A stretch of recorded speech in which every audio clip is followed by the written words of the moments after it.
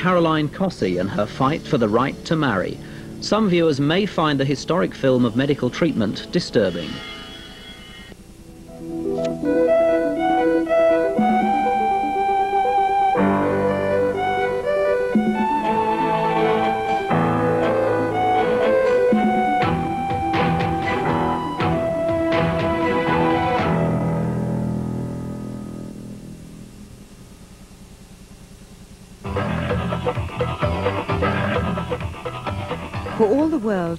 Caroline Cossey is many people's idea of a beautiful woman.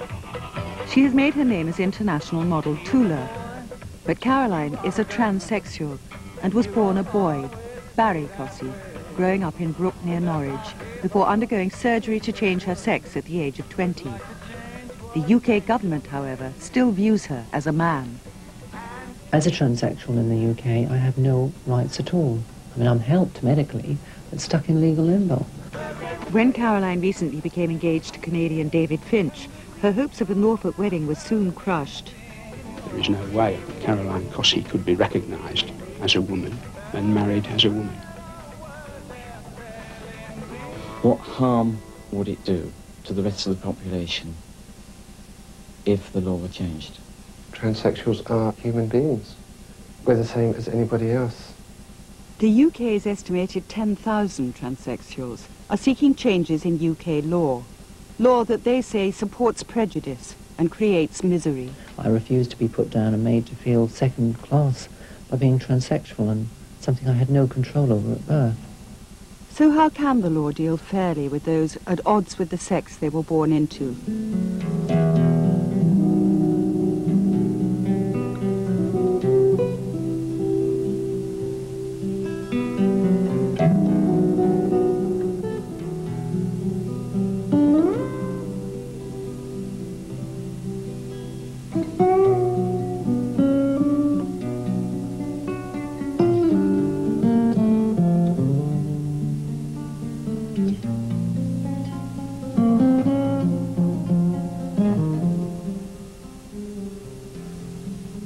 Once upon a time there was Adam and Eve, man, woman, male, female.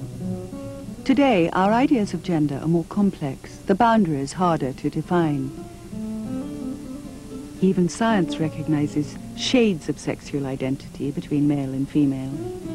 Some geneticists, like Dr. C.N. Armstrong, who produced this spectrum of sex, see a gradation from man to woman, with transsexuals caught somewhere between the two. Recent medical research talks of brain sex, the idea that the hormones inside the womb define the sex of our brains as well as our bodies. And when something goes wrong, that a male body can have a female brain, a female body a male brain. But biological theories are not the only possible explanation. My inclination would be to believe that perhaps it's a constellation of factors which leads to the development of gender identity problems, at least in childhood, where biological factors may play a part, as well as family factors or very early upbringing. Dr. Di Ceglie helps children with gender identity problems. Deal with this problem uh, herself, I think, not that expect that the parents actually will change in, in, the, in themselves. As head of a team of psychiatrists, he works with children and their families as they confront many sensitive and difficult problems. So much anger in the past. But Gender identity problems can present themselves very early on in, in childhood, and quite often by the age of two or three. Growing up, I was always dressing up, and everyone used to cheat me, and I used to think, oh, well, you know, I'm, I'm soft. But um, it was sort of getting into puberty that I suddenly realized with sex lessons at school, I don't like girls at all, not in that way. Lots of children who have had gender identity problems in childhood will, in adolescence, attempt suicide when they feel confused about themselves and they become isolated from the family and peer group. Been born this way and I've tried to make the most of it. Unfortunately, I'm very happy that I've born in this day and age where I can be medically helped. I think I would have been a little more saddened if it had been 100 years ago. probably killed myself, so I'm, I'm pleased that I was born now. London's Charing Cross Hospital houses the country's main gender identity clinic. Dr. Don Montgomery is responsible for the counselling and treatment received by over 2,000 National Health Service patients. Each year he receives 300 new referrals from GPs around the country, but he has no certain explanations for the causes of transsexualism. I think it's unlikely to be fully understood within the next uh, 10 uh, or, or, 20 years or even well into the future. Uh, I mean, gender identity disorders go back into antiquity. Uh, recorded by the ancient Greeks in their mythology and uh, in their stories. And although we're making rapid advances in our understanding of human psychology and of human genetics, I still think uh, we've got many mysteries to, to live with in the future. It's the cause of great distress for many transsexuals that their condition is confused with transvestism or simply dressing in the clothes of the opposite sex. Transvestite is a man who generally likes to dress in women's clothes and, and uh, get a kick. And then 99% um, of them are heterosexual. A transsexual is someone who is physically one thing and, and psychologically of another. And in most cases, we are hormonally, if not chromosomally different. So there's clearly a difference. The difference is also clear in what the person is willing to go through to live in their new role. Male to female transsexuals endure many hours of electrolysis. Both sexes take hormone therapy as well as undergoing very painful surgery. After a thorough and prolonged psychiatric assessment, the suitable patients might be uh, given hormonal reassignment initially, and if that is psychologically and socially successful and they fulfill various criteria, of which the most important is, is the real life test of living cross-gender role for at least two years, then such patients may go forward for surgery. But treatment hasn't always been so sympathetic. In the past, people with severe gender identity disorders or transsexualism, uh, people saying they wanted to change sex, were often regarded as mad. They might have been treated with uh, drugs or, or even electroconvulsive therapy, ECT. Um, I think this showed a mistaken or a misguided understanding of the patient by the psychiatrist at that time. Thank you for calling the Transsexual Information Line. Many people struggling with their gender identity feel too much shame to talk openly about it. No one knows the true extent of the condition. Some say there are as many as 50,000 transsexuals in the UK.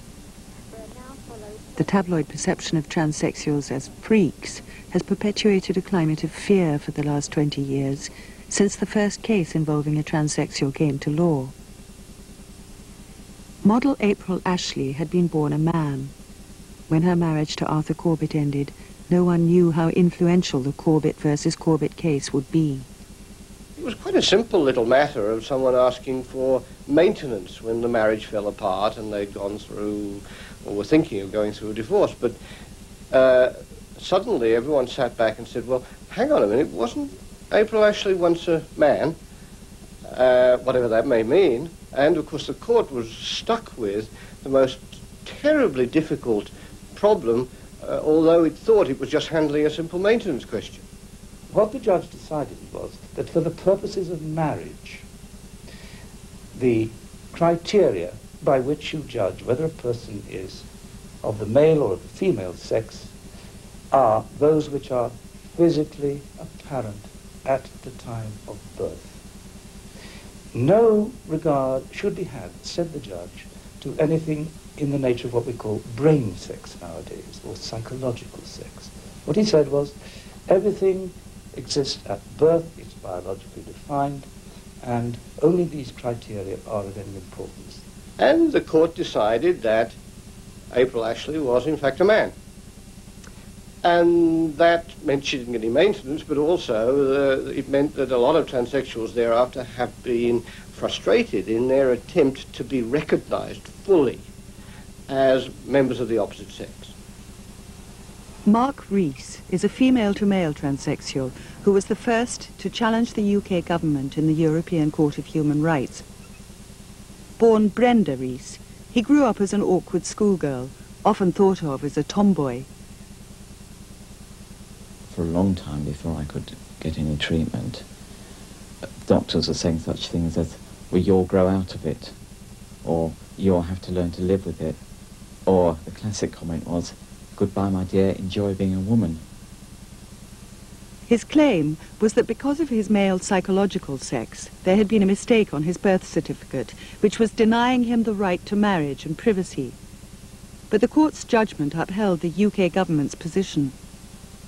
It was on the grounds of they were concerned to preserve traditional marriage, whatever that may be, and also they didn't want to impose new burdens upon the rest of us, the population, whatever they may have been.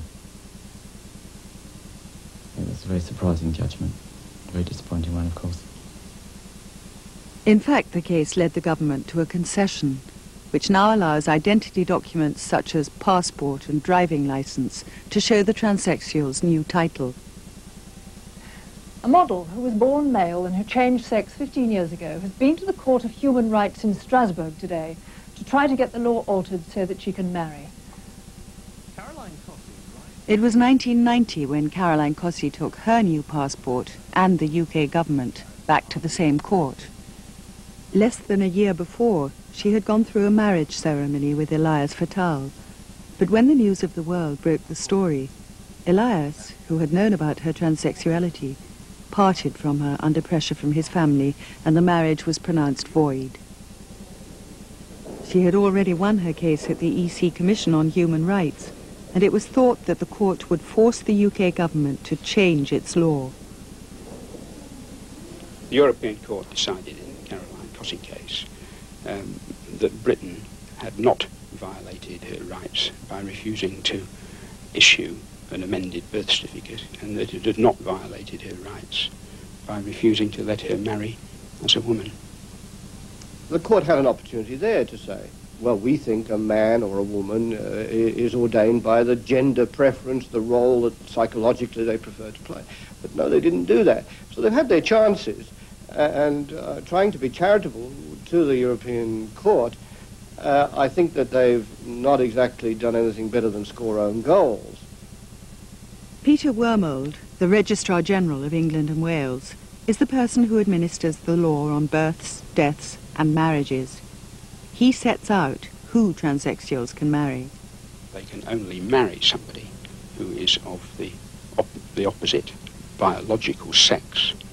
Um, this is a very unhappy position to be in, but it does mean that somebody who is living as a woman can only legally marry another woman, or alternatively, somebody else who has changed sex.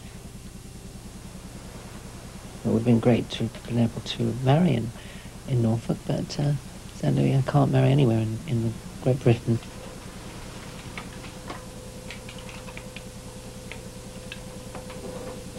Janine and David, who does not wish to be identified, live together with David's seven-year-old daughter from his previous marriage.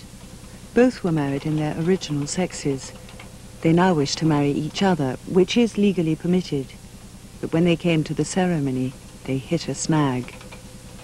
When we were shown into the ceremony room, and the lady says, this is where the ceremony will take place, and we'd look round the room, and it was quite nice. And she says, oh, there is one other little matter. She says, um, um, um, unfortunately, says, um, will have to say, um, I, Janine Newham, take David um, I'm to be your lawful wedded wife. Um, and I, I just looked at it gobsmacked. I thought, and I looked at David, and I thought, oh, I don't believe this. I I can't say that. I said, that's just making a mockery of, of who we are. And she said, well, I'm very sorry. She said, it is the law, and you will have to say it at the ceremony if you want to get married. It's also a denial of who we are to, to get up and say that um, as a matter of choice.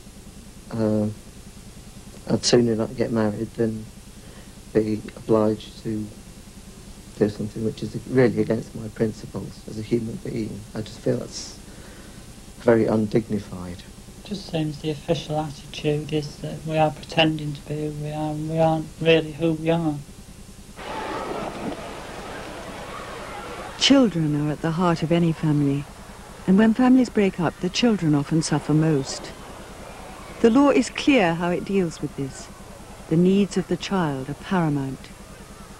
But when one parent is undergoing a gender change, what are the needs of the child then? And how can they best be helped to adjust? If the child is very attached to the parent, the attachment will remain, even if the parent has changed the biological sex. Now, if the contact and the relationship is discontinued, that might lead to all sorts of fantasies about what has happened to the father or, or, or the mother. And if not a proper explanation is not given to the child, this might have in long-term damaging effects on, on the child. When I was first going through the process of seeking medical help, I also sought help from an educational psychologist as I was a bit concerned about the possible effects on my daughter. And she said to me, well, she's obviously very well balanced. Nothing wrong with her at all. I don't think you've anything to worry about anyway. Because all that she's really concerned about is that you're the person that she loves, and she knows that you love her. And as long as you're always there for her, that's what matters. Stephen Whittle is a research lawyer at Manchester Polytechnic and a female-to-male transsexual. Are there circumstances when transsexuals aren't suitable as parents? There are circumstances in which lots of people aren't suitable to be parents, but they're not classed as a, a group. Black people, for example. Imagine the outcry in this country if it was said that black people shouldn't have access to their children, or gay men shouldn't have access to their children ever. They really don't like the idea of uh, their vision of men dressed up in women's frocks, which is how they still consider the transsexual to be. But is there any firm evidence that the courts are treating transsexual parents as one group? I was married some years ago. I have two children. According to a judge, I'm not allowed to see those children. The judge said from what he had found, with just two or three cases, was that it just didn't work for a transsexual parent to go and see their children. The children could not accept it. Solicitor Heather Vassy has acted for transsexual parents wishing to gain access to their children. In my experience, I, I felt that, that the judge in one particular case could not understand how anybody could be transsexual and having decided to uh, undergo gender reassignment, that person gave up their rights to, to continue to be a parent to, to the child. We asked the Home Office to describe the situation for transsexual parents. Refusing to be interviewed, they issued a statement. The child's best interests are decided on the facts of the case, and there's no question of discrimination against any particular parent or classes of parent. I have felt upset and quite shocked by the, the lack of sympathy shown to clients of mine. They're people who I have developed a relationship with as I have taken the case for them. And to find that at the end of that case, when the case has come before the courts, they are treated as less than human. It's, uh, it seemed to me very wrong. Come on, come on. Stephen Whittle is looking forward to being a father, for his partner Sarah is expecting their first child by AID, artificial insemination by donor. This relatively unusual situation has been sanctioned by a fertility clinic. The fact that he has succeeded where many other transsexuals have failed doesn't make his parental position any more secure. As a father of my child, well, I don't exist. I'm not a father of my child. I'm an anomalous parent under a parental rights agreement with my partner. I'm not a father, I'm not a mother. and we don't know what the situation would ever be in court if we came to separate. The ambition of some transsexuals to have children is both at the same time poignant and also challenging for the legal system. Why would transsexuals be eliminated from the question as a matter of principle rather than uh, an open-minded approach which should be let's look at each couple or each person and say the way we judge anyone else in adoption or whatever do you think this person would be a good enough parent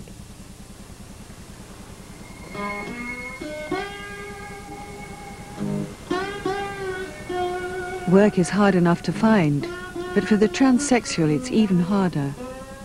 The Department of Employment insists that transsexuals enjoy the same rights as everyone else, but these rights only reside in the person's original sex.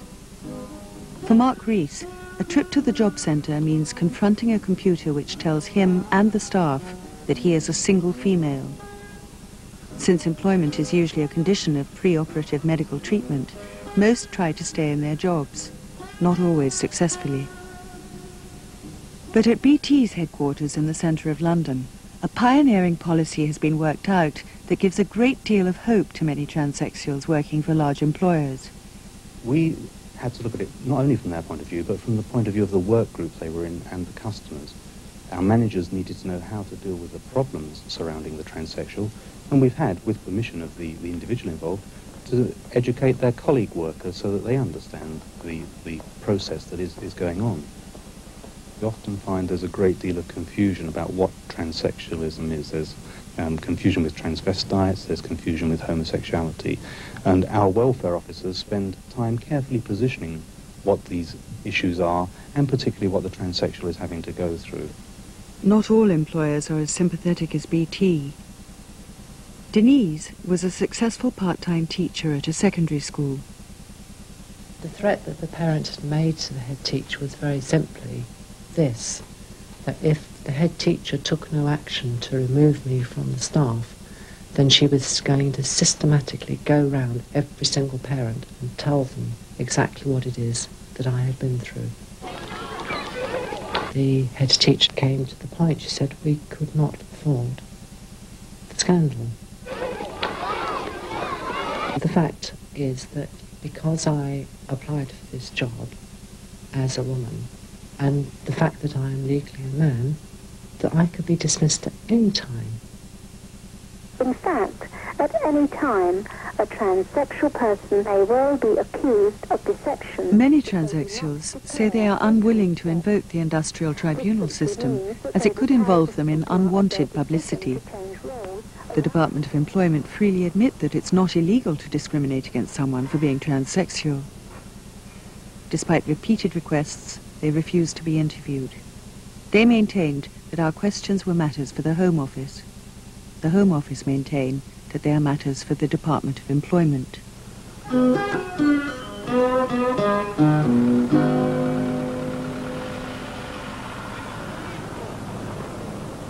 So how does the UK compare with other countries in their treatment of transsexuals? Transsexuals can be recognised in their new roles. Um, likewise, most of Canada and America, and I think now in Australia, they are changing the law. In most European and Scandinavian countries, transsexuals can be legally recognised in their new sex. This usually involves a change to the birth certificate, the ability to marry, to found a family, and to have employment protection. Some also protect the right to privacy. Another country that has made provisions is South Africa. I was amazed when I discovered this, but I do have personal knowledge of it because my first cousin is also a female to male transsexual, and he is South African, and he has been able to legally change his role. In fact, a couple of weeks ago, he got married legally to a woman. South Africa changed its law in 1974, nearly 20 years ago. International practice varies very considerably. Um, uh, Britain isn't out on a limb on this. There are a lot of countries whose laws are the same as ours. But the question of what the law should be, I'm afraid, isn't one for me. Um, I simply administer it. In their statement, the Home Office concurred. The position of transsexuals varies considerably within the European community. and it is not always appropriate to make direct comparisons. The government has made a concession on prisons, though. Swap out. Any male to female transsexual sent to a man's prison will be housed in the prison hospital, but some say this amounts to solitary confinement. What people forget is that concessions can be removed at any time and are often removed for individuals, even though And uh, one, of the, one of the main purposes of this meeting is to demystify this subject, um, to debunk... These and other issues were on the agenda when the Liberal Democrats held a fringe meeting for the transsexuals campaign at a recent party conference. which I don't think is the main issue at all. And it's, Uh, how, how many transsexuals are there actually in the United Kingdom? MP and barrister Alex Carlile has pledged his support and a promise of a private members' bill if he wins in the House of Commons lottery.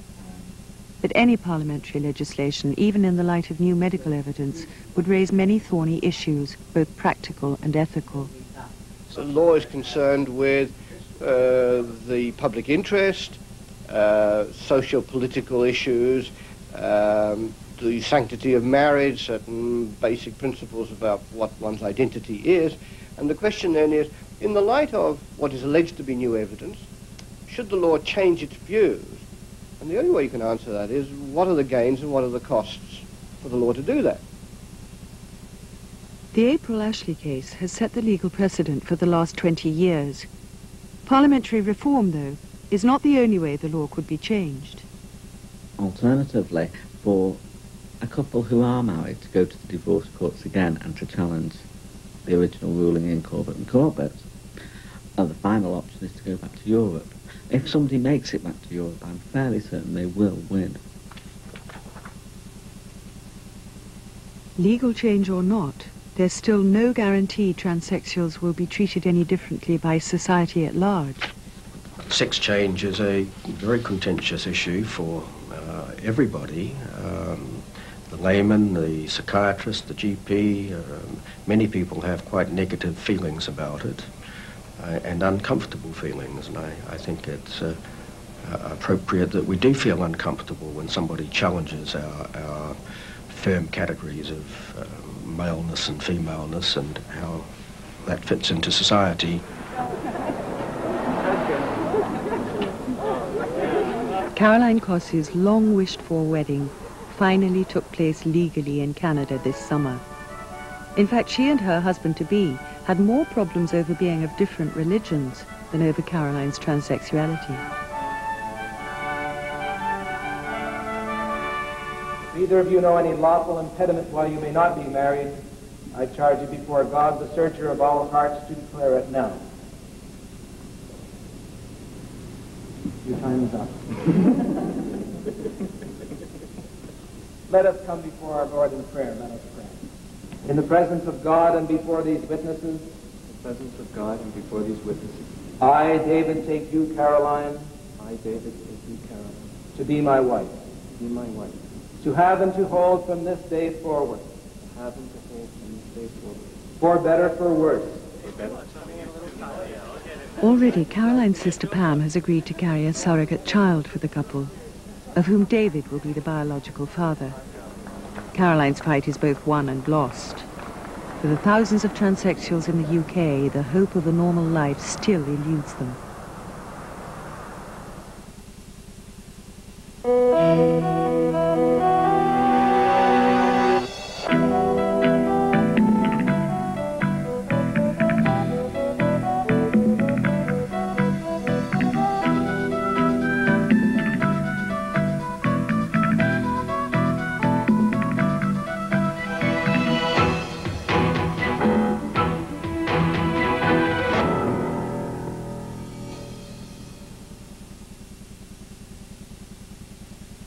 Caroline Cossey is one of Steve Rich's guests on BBC Local Radio, starting now. You can phone in on 0604 23 4455.